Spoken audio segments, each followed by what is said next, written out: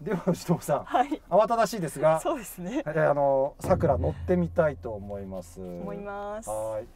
いや今座ってみたら、ううん。んこれステアリングは上下の調整はあるけどそうですね。テレスコピックはさすつがにいついてなかったね。ついてなかった。そしてこれ最上級グレードで本革になっててあ本当だ。カッここカパッパでステッチもカッパおおしゃれ本革のステアリングだ。そしてさっきお話ししてたあの、うんカッパーが増えるカッパーが増えるタイプ。これか。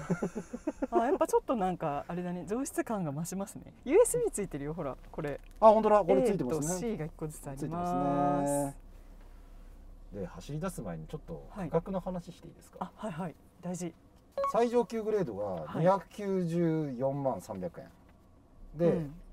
それが G ですね、はい。その下の X グレードが239万9100円。で一番下が233万3100円。で気になるのがはい。三菱の方。僕実は三菱行った時は当然この車はいくらだって知らないで行ったわけですけど、うんうん。まあ日産が専用ボディでに三菱がまあガソリン車ベースだったらちょっとどう思います？値段が一緒だったらねなんかこっちの方がコストかかってる感じするよね。するよね。ね。三菱もほぼ同じ値段なんですよ。へえまあちょっと装備差とかをあのまだちゃんと調べてないんでどういうことになってるかわかんないんですけどちなみにまあ50万円程度の補助金が入るんではい。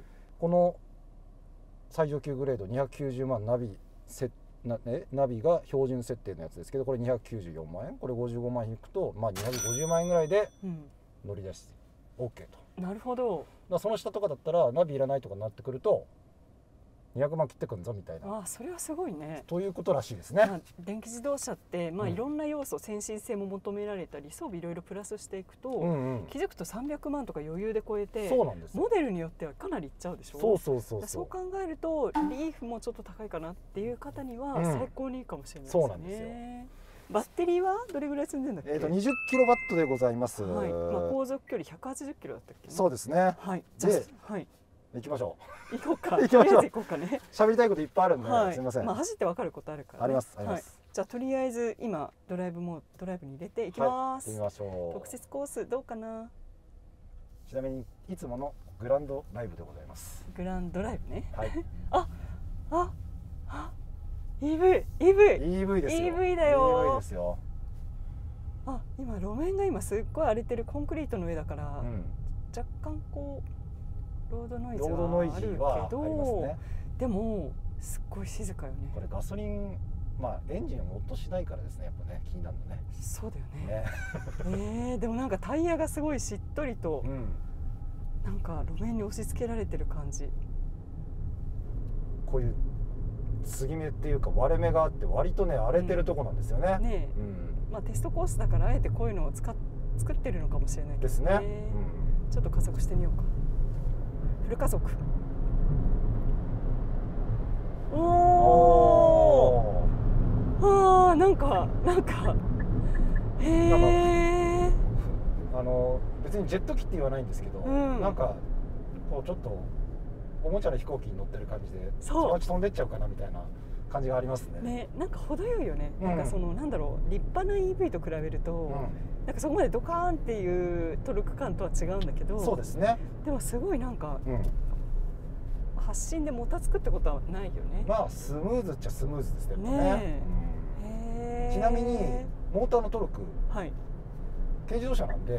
やっぱり規制があるんで、まあうんうん。47キロワット64馬力でございます。ただトルクこちらは制限がないということでおう。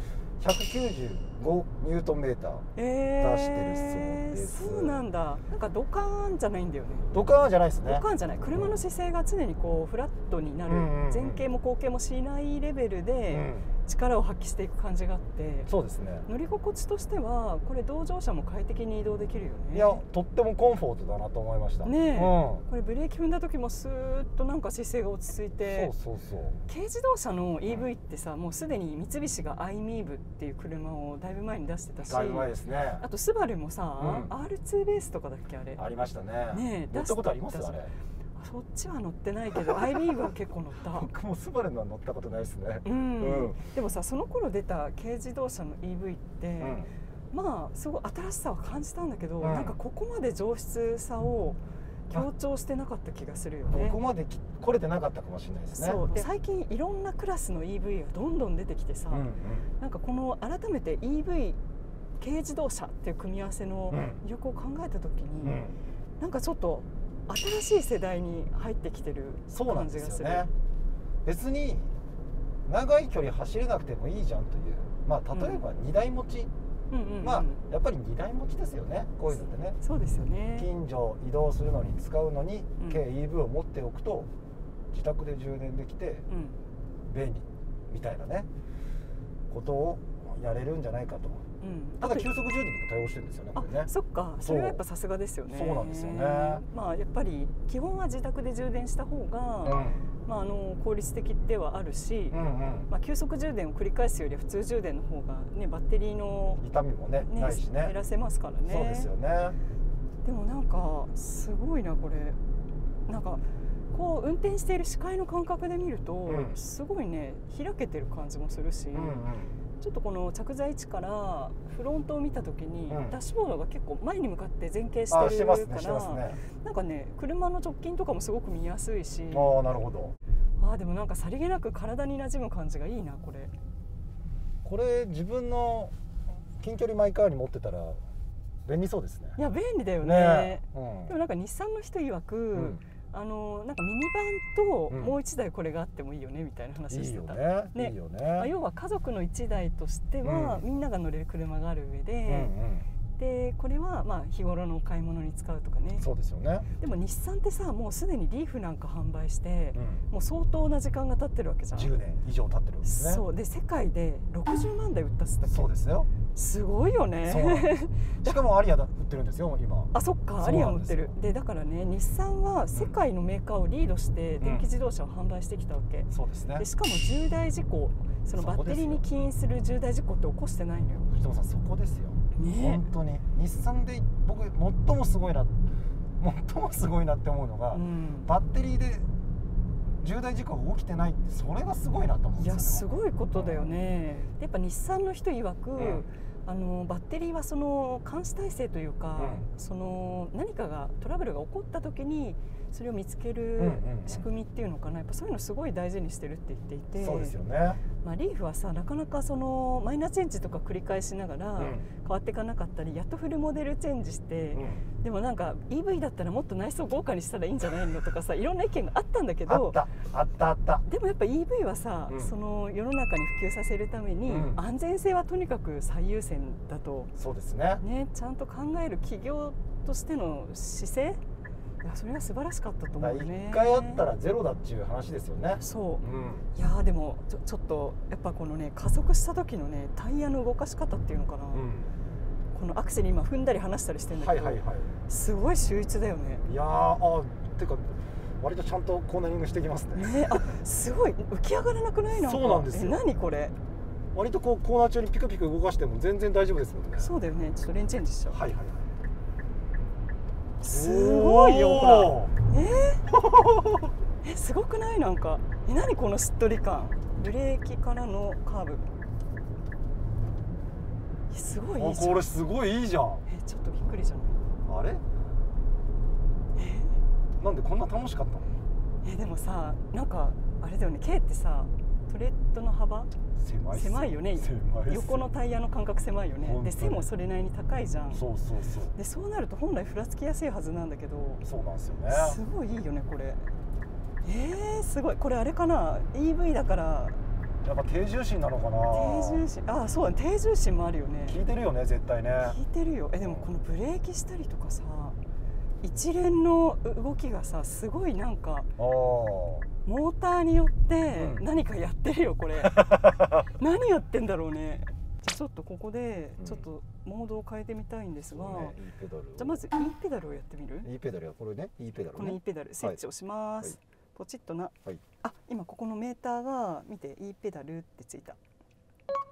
まあいわゆるワンペダル感覚で走れるやつですね。ですね。はーい。はい。じゃあ行ってみましょうか。あれ？これ？こ何の上にスタンダードってこと今見えました？けどそうそうなんだからほら走行モードが今回見つけたんだって。ああここにあったスイッチ。あ押します。はい。ポチ。あスポーツになったよ。ちょっとスポーツで行ってみますスポーツで行っちゃう？すスポーツでいきなり E ペダルで行っちゃう？行っちゃう？じゃあ行っちゃおうか。行っちゃうよ。ドキドキ。ドキドキ。あでも出足は出足はそこまで嫌な感じじゃないけど、そうねドカンっていう感じじゃないですね。でもでもなんかなんか湧き上がってきてる気がする。